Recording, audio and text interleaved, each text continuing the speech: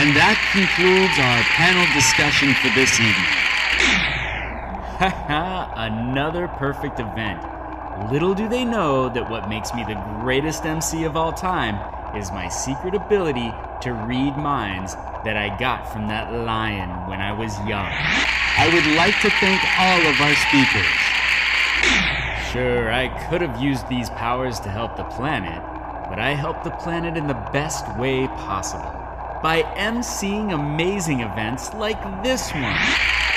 Beyonce, Dr. Anthony Fauci, presidential hopeful Kanye West, Dr. Phil, and especially.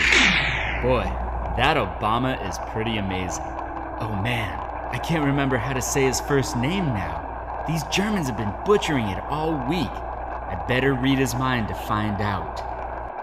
Excellent. Secret Service told me to only be here for 10 seconds, so lift the hand, receive the applause. Lifting hand, right hand, always a powerful hand. Scan stage left, move to middle, scan stage right. I am not a robot, but I've done this so many times.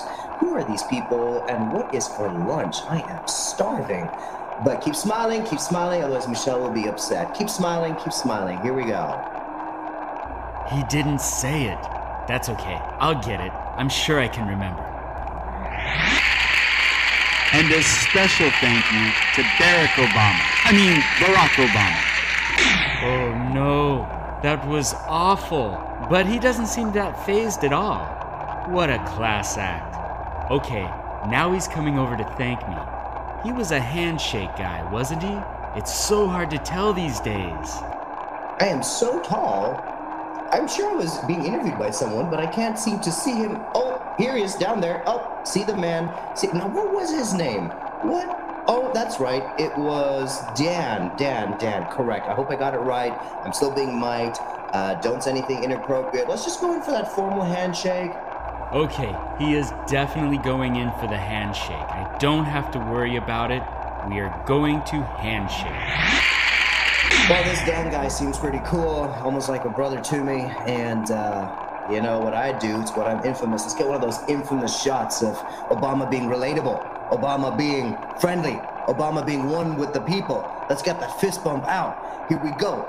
Fist out. Bam. Oh no! He switched up on me. What do I do? What's he doing? Oh no. He's coming for that grab. Does this guy not get a fist bump? Is he going to put his hand over my. No, this is going to be a disaster. Maybe I should go in for the punch. That'll be a lot more friendly. How long should I hold his presidential fist in my hand? I gotta bring this guy close to me. This is already so awkward, but let's go in for the man hug right now on stage. I'm now experiencing the presidential hug. His arms are so strong, which is so surprising how strong and comforting this hold is. I could live here forever. I cannot get this thought out of my head. He just seems like one of these cute little teddy bears that you would tickle. But to 8,000 people watching, but I am curious. Where can I tickle this guy? Oh, I hope he's not thinking what I hear he's thinking. I should not have had that fifth glass of water, but the cucumber in the water makes it so fresh and delicious. Is he urinating? What is happening? Michelle is not going to be happy with me at all.